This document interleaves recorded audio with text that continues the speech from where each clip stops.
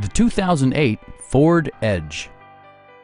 With fewer than 25,000 miles on the odometer, this four-door sport utility vehicle prioritizes comfort, safety, and convenience. Under the hood, you'll find a six-cylinder engine with more than 250 horsepower, providing a smooth and predictable driving experience. All-wheel drive maintains traction at all four corners. It includes heated seats, one-touch window functionality, heated door mirrors, rear parking sensors, remote keyless entry, and seat memory.